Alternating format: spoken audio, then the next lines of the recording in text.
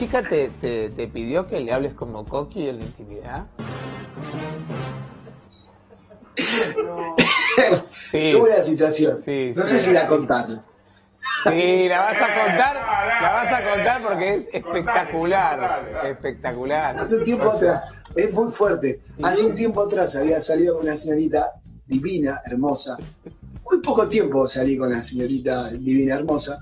Este, nada, en un momento que otro estábamos, después de, de- de las primeras dos, tres, cuatro, cinco salidas, nada, teniéndonos un momento íntimo, cuando de repente me dice, no, eh, yo, yo, ella me dice, decime papucho.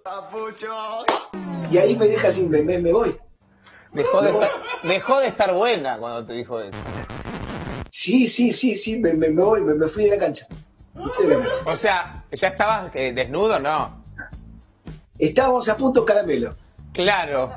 No, es que se te bajó toda, claro. Hizo así.